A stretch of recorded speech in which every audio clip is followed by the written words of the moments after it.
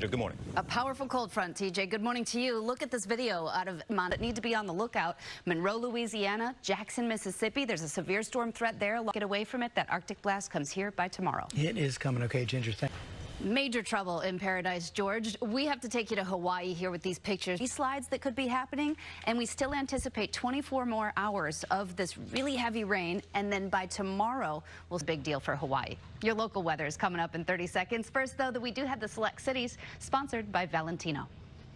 Big or go home when you holiday. Day. Do all your shopping in one place. Get the free shipping. Oh, Rebecca, Ginger, is she not just the best? She's the greatest, isn't she? the greatest. And I know she's like that organized person that's got it all done already anyway. You could tell. No.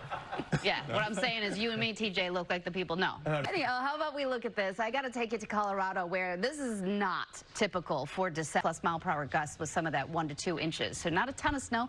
Denver still hasn't got their first measurable snow, but look what's about to happen. We're about to go from the upper 60s in D.C. to feeling like 29 tomorrow morning. Let's go ahead and get a check now a little closer to home. TJ